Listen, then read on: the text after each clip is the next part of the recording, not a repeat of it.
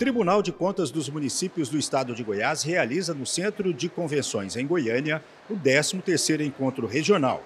Na parte da manhã, foram ministrados cursos para representantes dos municípios goianos por auditores do tribunal.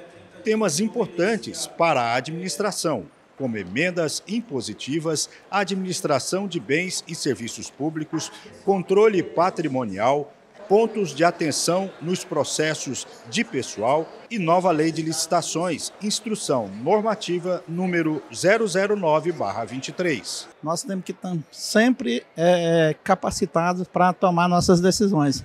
E essa nova lei desburocratizou muito o sistema de compras, né? Mas temos que entender o funcionamento dessa lei para a gente conseguir executar também. Está aqui para aprender, porque cada vez mais está tendo mudanças na lei da licitação.